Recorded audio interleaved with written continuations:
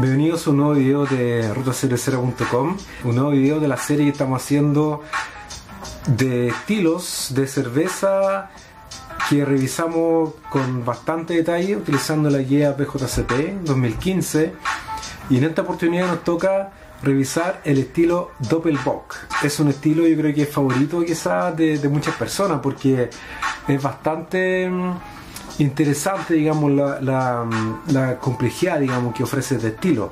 Voy a proceder al tiro a leer acá de la guía BJCP. Bueno, este, este es un estilo que, que, está en la categoría 9 de la guía BJCP, que es, es la categoría de las Strong, Strong European Beer, es decir, cervezas fuertes europeas. Y dice lo siguiente, la descripción, digamos, de toda esa categoría donde mm, está, bueno, está Doppelbock, está Acebock y Baltic Porter. Dice lo siguiente, esta categoría contiene lagers con sabores más fuertes y grados alcohólicos más altos de Alemania y de la región báltica. Casi todas son oscuras, pero se conocen algunas versiones más pálidas. Ya nos entrega harta información, porque por lo general la cerveza lager tienen una fermentación limpia, ¿cierto? No, deberían, ser, deberían tener un, un, carácter, digamos, entre comillas, de ésteres frutales, que es lo, que muchas veces uno percibe de las cervezas de, eh, de tipo ale, ¿cierto? Que donde, se utilizan levadura tipo ale. Y además, bueno, son cervezas que tienen más grados alcohólicos. Entonces, bueno, Doppelbock aparece en la categoría 9A y la impresión general dice lo siguiente, una lager alemana fuerte, rica y muy maltosa, que puede tener dos variantes, pálida u oscura. Las versiones más oscuras están más ricamente desarrolladas, con sabores más pronunciados de la malta, mientras que las versiones más pálidas tienen ligeramente más lúpulos y sequedad. Eh, como siempre, digamos, la impresión general de la guía PJCP es muy útil porque en, una, en un párrafo resume súper bien, digamos, todo lo que eh, las características, digamos, de un estilo de cerveza. Y aquí, bueno, ya sabemos que es una lager muy maltosa. Eh, sabemos también que mm, con esta impresión general de que van a haber sabores muy pronunciados de malta y, esa es como la principal característica digamos, de este estilo, además de que es una cerveza con altos grados alcohólicos. Voy a proceder aquí a leer brevemente, antes de presentar la cerveza que vamos a probar en este video, la historia, que es muy interesante también la historia digamos, de, esta, de esta cerveza, que es lo que aparece también en cada estilo digamos, de la guía PJCP. Viene entonces también en un párrafo, cuéntanos un poco ahí acerca de la historia. Dice lo siguiente una especialidad bávara, es decir, de, Alemania, elaborada primero en Múnich por los monjes de, por los monjes de San Francisco de Paula. Las versiones históricas eran menos atenuadas que las versiones modernas, por lo que en consecuencia los niveles de dulzor eran más altos y los de alcohol más bajos. Y por tanto era considerado pan líquido por los monjes. El tema de la atenuación aparece harto, digamos, la guía CP y ahí donde, bueno, principalmente se, se, refiere al, entre comillas, el resultado final luego de la fermentación, ¿cierto? Qué tan atenuada, qué tan atenuada es la cerveza. Generalmente cuando es muy atenuada la cerveza va a ser relativamente seca, no va a ser muy dulce, va a ser bastante también, va a tener también bastante carbonatación probablemente, y cuando no está tan atenuada, es decir, la levadura no, no, consumió, digamos, todo el azúcar que había en el mosto, que se utiliza para la elaboración de la cerveza, lo más probable es que va a quedar algún tipo de, de azúcar residual. Y eso es lo que dice acá que las primeras versiones, digamos, de este estilo em, no eran muy atenuadas. Luego dice lo siguiente, el término doppel, doble, bock, eh, doppel significa doble, fue acuñado por los consumidores en Múnich. Muchas box comerciales tienen nombres terminados en ator ya sea como un atributo a las prototípicas Salvator o para aprovecharse de la popularidad de la cerveza o para aprovecharse de la popularidad de la cerveza. En este caso, bueno, se refiere a la clásica Salvator, que es una de las versiones que hay, digamos, de la Double Box alemanas. Tradicionalmente un color café oscuro, los ejemplos más claros son una creación más reciente. Bueno, procedamos entonces a, presentar la cerveza que vamos a probar en esta ocasión. Y aquí tenemos algo muy interesante porque eh, de, los ejemplos comerciales que se mencionan aquí en la guía por JCP, ejemplos comerciales versiones oscuras, Andescher, Doppelbock Dunkel, Eyinger Celebrator, Paulaner Salvator, Spaten Optimator, Troix Trogenator y Weinheinz Stefaner Corbinian. De, de los 5 o 6 que nombramos ahí, que son los ejemplos comerciales, es decir, son cervezas que están disponibles comercialmente que representan muy bien, digamos, el estilo. En este video vamos a probar dos, que es la Eyinger Celebrator y la Wayne High Stefaner Corbinian. Y la, y la tercera cerveza que vamos a probar acá es una Box chilena de la cervecería Granizo, eh, que de hecho se llama Doppelbrett. Voy a mostrar brevemente, bueno, aquí está la, la Doppelbrett de Granizo, que es una, por el nombre, ¿cierto? Es una Doppelbock con, con Brett, con levadura Brettanomyces, eh, de 13 grados de alcohol, y dice que es una Doppelbock, Doppelbock dice que es una Doppelbock madurada por 18 meses en barricas de vino con bretanomices. Esa es la descripción breve aquí de, esta cerveza. Dice consumir antes de julio del año 2024. Es entonces la cerveza eh, Doppelbock más fuerte que tenemos acá. Luego aquí tenemos la, eh, uno de los ejemplos comerciales que ya mencionamos, eh. Hans Stefaner Corbinian eh, que es una Doppelbock también de 7,4 grados de alcohol. Y, esta dice que su fecha, bueno, aquí está, ahí está la Corbinian. Y eh, la primera entonces que vamos a probar aquí, que, es una botella más, pequeña, pero el, diseño está, está increíble, ¿cierto? De hecho viene aquí con el, con el Bock. Bock creo que es el, el bueno, en, cabro, eh, cabro es como el, claro, el cabro, la cabra, no sé.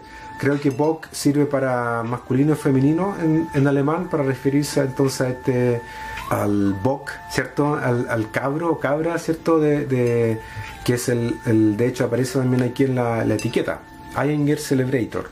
Este entonces es otro ejemplo comercial también y este es de 6,7 grados de alcohol.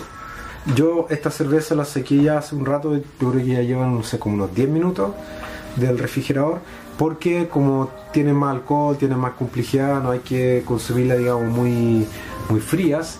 Y antes entonces de leer los comentarios y abrir la cerveza, estadísticas vitales, eh, que es bastante eh, importante. ABV, es decir, el, generalmente el, rango del, de, los grados de alcohol van entre 7 y 10 Así que estas dos, digamos, están aquí, se puede decir, en tu rango. Esta está un poco pasada, pero esta es como una versión, entre comillas, experimental de una Double Box, ¿cierto? Eh, dice lo siguiente acerca de los comentarios. La mayoría de las versiones son oscuras y pueden mostrar caramelización y productos de mallar por la maceración por decocción, pero también en excelentes versiones pálidas. La maceración por decocción es una técnica que se utiliza para este tipo de estilo y otros más, digamos, generalmente eh, cerveza Lager de Alemania, donde durante la maceración se, se va sacando un poco, digamos, del, del, mosto que, que, está ahí, digamos, a cierta temperatura, se saca un poco del mosto, se, se, se sube la temperatura de esa pequeña porción del mosto y se, se devuelve en la maceración y así se puede repetir varias veces hasta que se va aumentando, digamos, la temperatura cada vez más de la, del mosto y la maceración, con el propósito de, en el fondo, poder extraer la mayor cantidad posible de, eh, de todo el azúcar, la proteína que, que ofrecen, digamos, la, la cebada. Las versiones pálidas no, no, tendrán la misma riqueza y sabores de las maltas más oscuras de las versiones oscuras, pudiendo ser un poco más secas, más lupuladas y más amargas. Mientras los ejemplos más tradicionales están en los rangos más bajos de, las características recién citadas, el estilo puede considerarse sin límites superiores para intensidad. Es decir, lo que yo dije hace un rato, del rango de los 13 grados de alcohol, no hay límites superiores, según lo que dice aquí en los comentarios. Es una buena noticia. No es, muy común tener lagers tan fuertes. Hay otro estilo también que es muy interesante también quizá más adelante lo podemos probar, que es, la, es el estilo ACEPOC. Es una técnica muy interesante que se aplica ahí para poder entonces tener como producto final una cerveza muy alcohólica. Yo también, eh, entre comillas, eh, estilo que son las Altbier, pero con magro alcohol, que generalmente se le llama Doppelsticker, que también eh, con la misma técnica, digamos, de la decocción, ¿cierto? Que es ir aumentando progresivamente la temperatura, digamos, del, del mosto eh, para poder extraer, digamos, todo lo que ofrece en la cebada. Se pueden entonces hacer esto, esta cerveza lager, que son bastante maltosas y eh, con alto grado de alcohol. Así que ya hemos estado hablando mucho. Yo solamente me gustaría comentar esto muy interesante, que me, me parece muy interesante esto que, de que tiene aquí esta mm, esta mascota se puede decir que es lo mismo que aparece aquí en la en la etiqueta. La etiqueta es como muy muy llamativa es como un estilo muy antiguo. Hay una copa también que se supone que acompaña digamos la, esta cerveza eh, muy al estilo por ejemplo la cerveza de Bélgica que cada cerveza tiene su propia copa. La Celebrator de Ainger también tiene su propia copa. Vamos al tiro con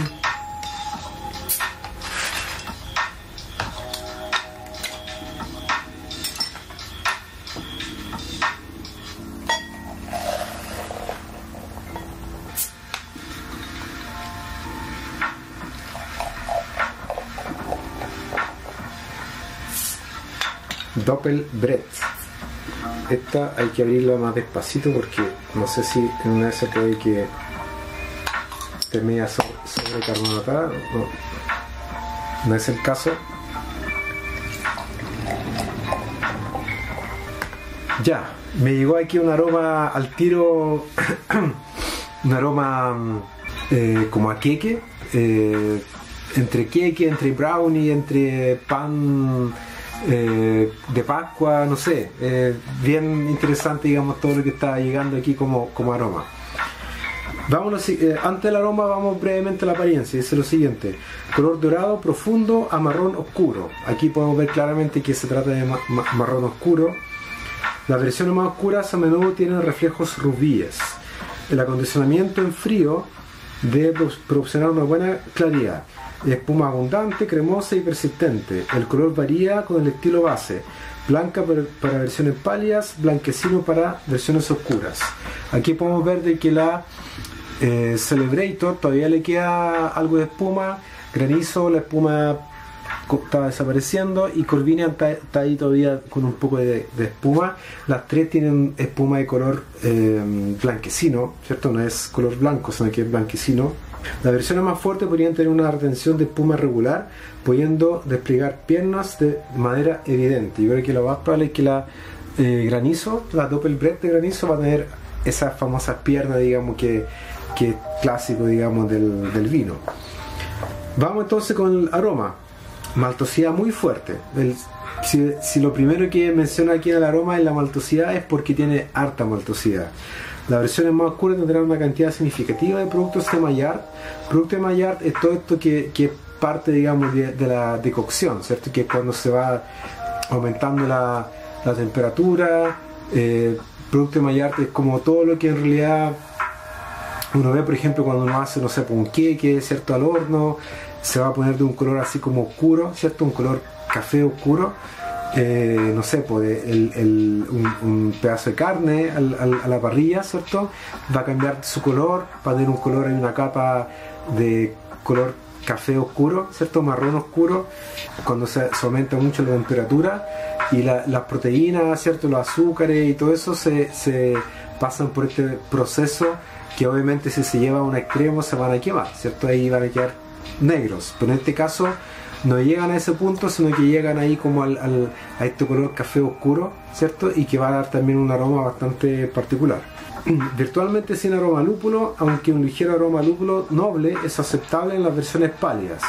Un carácter frutal moderadamente bajo, descrito como ciruela o uva, derivado de la malta puede estar presente, pero es opcional en las versiones más oscuras.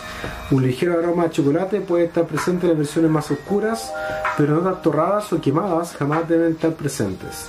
Puede estar presente un moderado aroma a alcohol. De aquí ya estoy sintiendo el, este perfil clásico, no sé, un, un queque mm, al horno, ¿cierto? Recién, un, un queque recién sacado del horno. El aroma que tiene eso es lo que yo estoy sintiendo acá, incluso desde lejos eh, ni siquiera me estoy acercando aquí a la copa. Vamos entonces con la mm, Celebrator. Sí, eh, queque mm, recién sacado del horno, galletas, eh, pasas. E, ese perfil más o menos es lo que se siente aquí muy muy fuerte, digamos. Principalmente, eso es lo que principalmente aquí se siente. Hay que recordar que esto tiene recién, eh, tiene entre comillas solo 6,7 grados de alcohol eh, así que tampoco, por ejemplo, no se siente tanto el alcohol ni, tampoco se siente, por ejemplo, el lúpulo, tal como decía ahí la, guía para CP. Voy al tiro entonces con la Corvinian porque la Celebrator yo ya la había probado en, Chop. De hecho, voy a dejar linkeado ese video donde probé la Celebrator en Chop. Tiene el mismo. Tiene un perfil muy similar a la Celebrator pero quizá un poquito menos, menos, menos intenso, digamos, la, malta, como este perfil a cake o, galletas recién horneadas, ¿cierto? Con las pasas, no sé si quizá un poquito ahí también de ciruela, pero está menos pronunciado que la Celebrator. Y voy al tiro entonces con el aroma de la Double Bread. Aquí mi expectativa sería sentir también un poco quizás de barrica y un poco de bread. Vamos a ver cuál va a ser el perfil del bread, porque hay diferentes tipos de bread.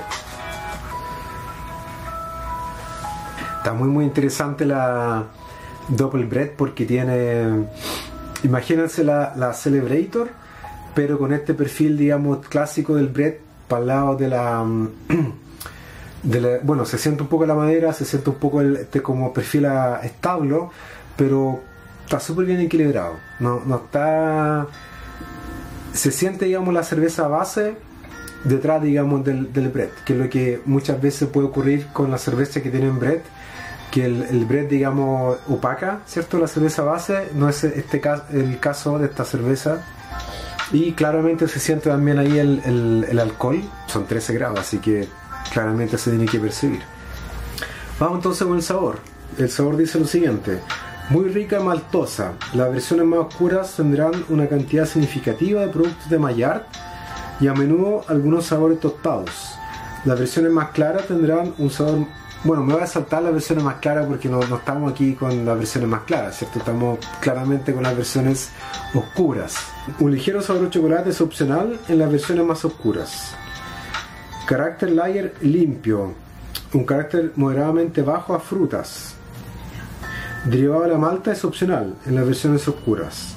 Invariablemente habrá una impresión a intensidad del alcohol, pero debería ser suave y tibia, más que áspera o quemante. Eso es lo que podemos mencionar, por ejemplo, de la granizo, de que se siente el alcohol, pero no es quemante ni nada de eso, pero sí se percibe, son 13 grados. Eh, poco nada sabor a lúpulo. El amargor del lúpulo varía de moderado a moderadamente bajo, pero siempre permitiendo a la malta dominar el sabor. La mayoría de las versiones tienen bastante dulzor a malta, pero deben dejar una impresión de atenuación, es decir, no deberían sentirse tan tan dulce, ¿cierto? Eh, eso es lo que decía, si ustedes recuerdan cuando leímos la historia, decía que las versiones más antiguas eh, originales, que cierto de los monjes de San Francisco de Paula, eran las que no tenían tanta tonación, por tanto era bastante dulce y no tenían tanto alcohol. El dulzor proviene del bajo lupulado, pero no de una, no de una fermentación incompleta. Sensación en boca, cuerpo medio pleno a pleno, connotación moderada, moderadamente alta, muy suave, sin asperezas o astringencias, puede estar presente una ligera tibieza de alcohol, pero nunca debe ser quemante. Ya, vamos entonces con, con la segunda ronda, digamos, del aroma y la primera ronda del, sabor. Sí, esta, yo, creo que mm, ya sé por qué mm, es tan renombrada, digamos, esta cerveza Einger Celebrator eh, y bueno, además de ser ejemplo de estilo, yo creo que es como quizás la Box más conocida, ¿cierto? A nivel mundial, y es porque se siente mucho, mucha maltosidad, digamos, en aroma. y no sé cómo, además de esta decocción, quizás cuántas veces harán, digamos, la, decocción o qué tipo de técnica usarán, pero se siente mucha, mucha maltosidad, muy agradable, muy así como hogareña, quizás se puede decir, porque por este tema del, como yo, por a mí, como yo lo percibo, un queque recién horneado, ¿cierto? Em, se siente también un poquito de, tostado, pero, muy poco, casi nada. Es principalmente esta, este, este caramelo, ¿cierto? Esta, esta maltosidad eh, que tiene como este perfil muy, muy, muy agradable, muy, muy como suave, pero no suave de, poco intenso, sino que suave de que es como muy, muy agradable, digamos.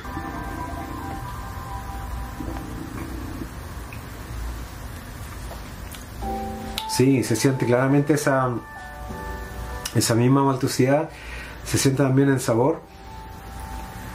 Cuerpo, yo creo que es como cuerpo medio.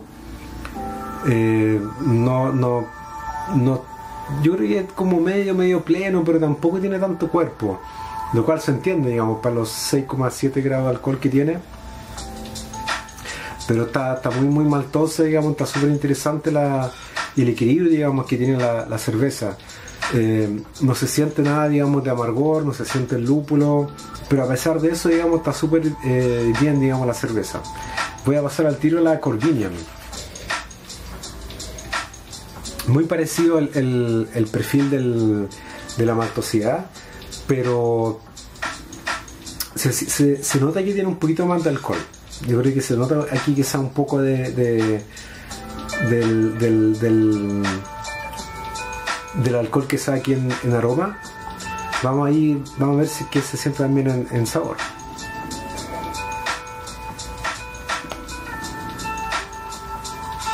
Mmm tiene otro, otro perfil en el sabor.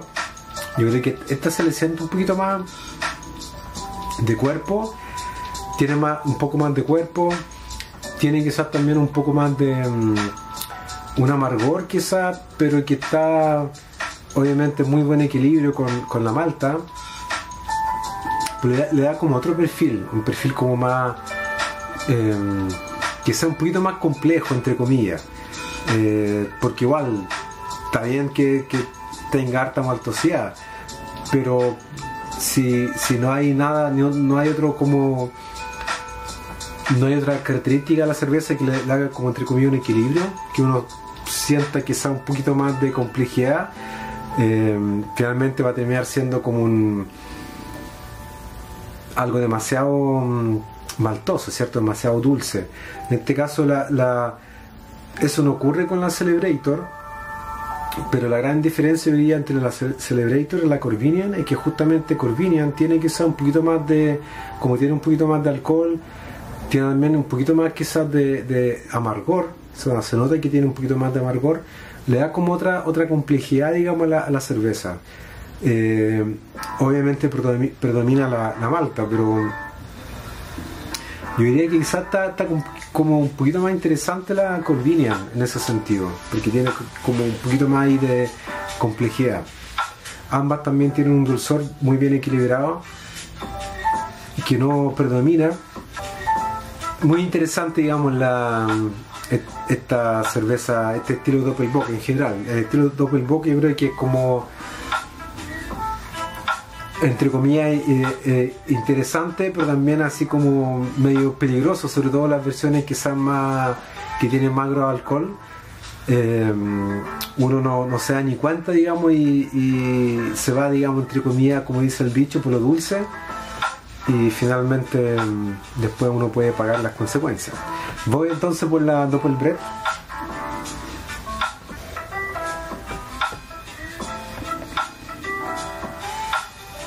Mm. Aquí yo le siento como un perfil de, mm, de vino. Se siente como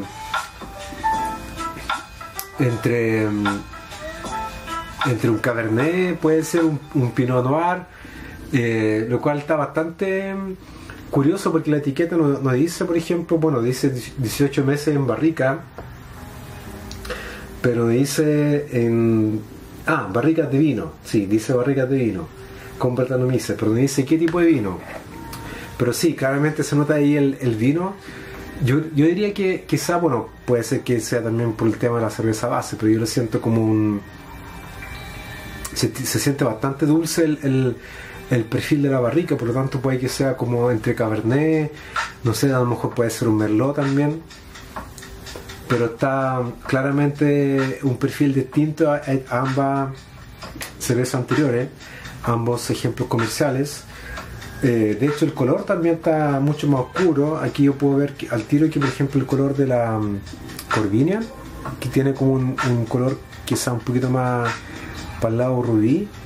Em, la Eyinger es un poquito más oscura y la Doppelbrett de granizo claramente como bien, bien, bien oscura, digamos, pero no, llega a ser em, negra, ¿cierto? Sino que es, sigue siendo eh, color café o marrón, ¿cierto? Como siempre aquí en, esta serie de videos, al final del video yo doy como un ranking de cuál de las tres cumple mejor con el estilo. Acá, bueno, va a estar muy difícil porque tenemos dos cervezas que son ejemplos de estilo, por tanto ambas, digamos, cumplen muy bien con el estilo. Aquí, como entre estas dos, vendría siendo como una. Em, casi una selección de por, gusto personal, digamos. Voy, voy, a hacer la clásica última ronda para elegir entonces cuál, cuál va a ser el ranking, según yo, de estas tres cervezas. Eh, qué difícil. Las tres tan tremendas, digamos, las tres cervezas me llama, igual me llama mucho la atención la Doppelbrett de granizo, porque mm, no se notan los 13 grados de alcohol, eh, está bastante dulce. Y el dulzor que tiene está bastante bien equilibrado, digamos, con, el perfil de la malta, con el Brett. Me llama mucho la atención la, la Doppelbrett. Eh, porque está súper tomable, digamos. O sea, yo creo que si no se la pasa a alguien que ni siquiera sabe lo que es Brett, yo creo que la, va a disfrutar, digamos, un montón, digamos, la cerveza. Lo cual habla muy, muy bien, digamos, yo creo que de la, de la cerveza. Eh, porque lo que ocurre muchas veces con la cerveza que tienen Brett es que, como bueno, como ya comenté antes, el, el Brett muchas veces se apodera cierto de todo. Eh, pero no es, el, no es el caso de esta cerveza que tiene como el Brett ahí muy bien equilibrado. Se siente más en, aroma que en sabor. En, sabor se siente como esta maltosidad y se siente el dulzor y el Brett está ahí como de fondo dando equilibrio digamos y un, una especie como de contrapunto digamos a la maltosidad y al dulzor pero bueno es ya dijimos desde un principio que es una versión experimental de una Doppel Brett así que claramente no podemos dejarla en primer lugar porque no es, no es como el estilo clásico, ¿cierto? Es un experimento. Es un muy buen experimento y yo desde ya eh, recomiendo que lo prueben. Por lo tanto tengo que elegir entre estas dos, que donde ambas son ejemplos de estilo, entonces simplemente es, es como el como dije antes, como casi un gusto personal, cuál de las dos debería estar ahí liderando el ranking de, de como la mejor double bread de, este video. Bueno, espero que ahí se vean mejor la cerveza y eh, yo les voy a dejar tal cual en, ese orden eh, dentro del ranking. Y bueno, ya expliqué el por qué eh, la Bread no puede quedar en primer lugar, aunque es una tremenda cerveza y por a mí personalmente me, me, encantan todas las cervezas que tienen bread. Es todo un, es, mundo, digamos, la cerveza con bread. Y, si tienen la, la, oportunidad, las ganas, ¿cierto?, de probar cerveza con bread, es, toda una experiencia y un camino, digamos, que, que es interesante, digamos, de, de comenzar de recorrer y uno se puede encontrar ahí con muchas cervezas muy interesantes. Y entre tanto, ¿por qué dejo en primer lugar a la Ainger Celebrator? Aunque es una cerveza ahí. Yo no, no, no, me voy a dejar llevar, digamos, por la parte así como estética, ¿cierto? Con, con, con esta cosa aquí que está colgando, ¿cierto? Yo simplemente me voy a dejar llevar por la maltosidad. La maltosidad es lo primero que aparece aquí en la descripción del, de la guía. Dice que, debería tener una maltosidad muy fuerte, esa es su principal característica y eso es lo que efectivamente se siente aquí en la Ainger Celebrator como su principal característica em, representa muy bien el estilo. Según yo representa mejor el estilo la Ainger Celebrator que la Corvinian. Quizá no por mucho o sea la Corvinian está también está súper buena digamos y de hecho yo creo que quizá eh, la Corvinian injustamente quizá no es tan conocida como la Ainger Celebrator, quizás por este tema como estético, cierto, de imagen, de la, etiqueta, de la copa, del bock aquí colgando, etcétera, etcétera. O sea, Corvina si la pueden probar, también recomiendo que la, prueben. Pero como, como cerveza, probablemente tal, si nos vamos solamente a la parte, digamos, de la cerveza en sí, eh, yo creo que Celebrator Dainger representa muy bien, digamos, el estilo y, por lo tanto yo creo que yo la voy a dejar en primer lugar y como representa muy bien el estilo, un poquito mejor quizás que la Corvinian, por eso entonces la dejo en el primer lugar. Pero las tres cervezas son tremendas cervezas, yo recomiendo que la prueben las tres. Si que no han probado la Celebrator, eh, háganlo, igual que la Corvinian y también igual que la Double Bread. La Double Bread quizás sea como la más, entre comillas, difícil a lo mejor de conseguir porque, bueno, obviamente granizo, cervecería chilena, eh, quizás no van a eh, encontrar en otros países. Pero la Celebrator y la Corvinian yo creo que sí la van a encontrar en, otros lados. Es un estilo muy, muy interesante que, que, ha hecho, digamos, muy, muy también, entre comillas, placentero grabar este video porque son tremendas cervezas. Así que bueno, espero que les haya gustado este video. Aprovechen, bueno, como siempre, suscribirse, ponerle like, comentar y nos vemos entonces en un próximo video de rotacervecera.com.